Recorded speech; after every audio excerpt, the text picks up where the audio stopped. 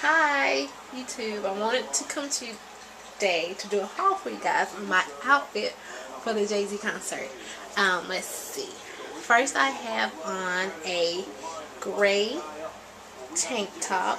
It also has lace in the back. I don't know if you guys can see that. Can you see? It has lace in the back and it goes all the way up.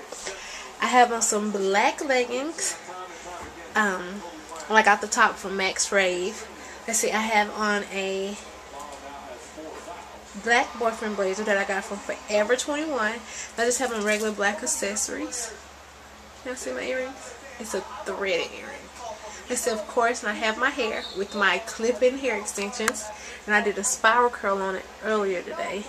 And now, let me show you my shoes if you guys can see them. Because I'm not sure which one to do. Okay.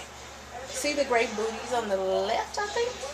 Yeah. Got these from Charlotte Russe and they are really cute. The only thing is, is that if I'm at a concert and I'm standing up for three hours, yeah, my feet are going to be killing me. But they are really, really cute. And then my second option is just a regular gray snow boot, which I'm probably going to end up doing. Because it's still cute, but the booties really, really make it pop. So I'm not sure. And let me get closer so you guys can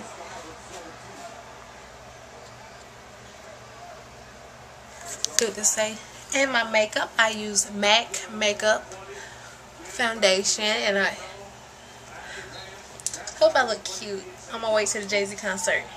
Hope you guys like my outfit. Let me zoom out.